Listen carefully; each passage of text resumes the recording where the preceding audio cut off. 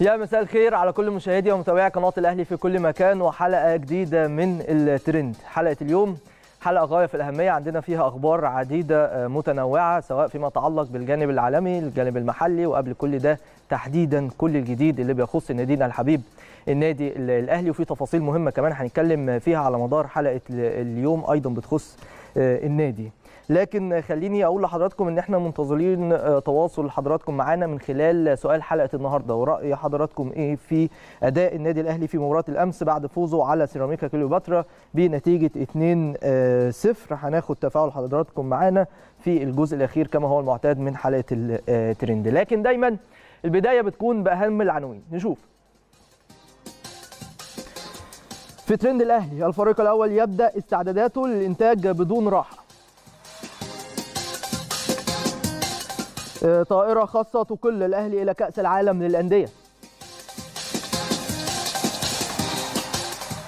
أما في الترند العالمي تأجيل مباراة أتلتيكو مدريد وأتلتيك بلباو بسبب عاصفة ثلجية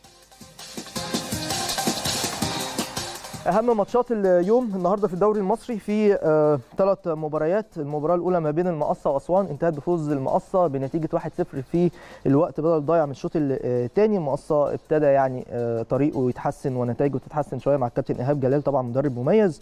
آه في مباراة تلعب في هذه اللحظات ما بين المحلة والجونة في استاد المحلة تعادل سلبي 0-0 والمباراة الأخيرة النهارده ما بين الزمالك وطلائع الجيش مباراة قوية. دي هتكون في تمام الساعة 7:30 وأكيد هتكون مباراة أيضا مثيرة خصوصا إبراهيم نور الدين هو حكم هذه المباراة ودايما كل المباريات سواء مع الأهلي أو مع الزمالك أو مع أي فرقة بيبقى فيها إيه؟ بعض اللغط كده. لكن هنتابع أكيد كل المباريات. في الدوري الأسباني في ثلاث مباريات إشبيلية وريال سوسيداد. دي مباراة انتهت خلاص 3 2 لإشبيلية.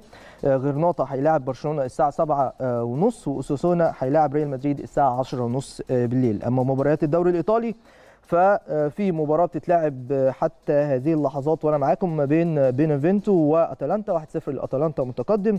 الساعة 7 جنوا مع بلونيا والساعة 10 الا ربع ميلان مع تورينو. دي مباريات اليوم وأهم هذه المباريات في مختلف الدوريات العالمية وتحديدا كمان الدوري المصري اللي أكيد بيهمنا ودوري مثير جدا في الحقيقة السنة دي.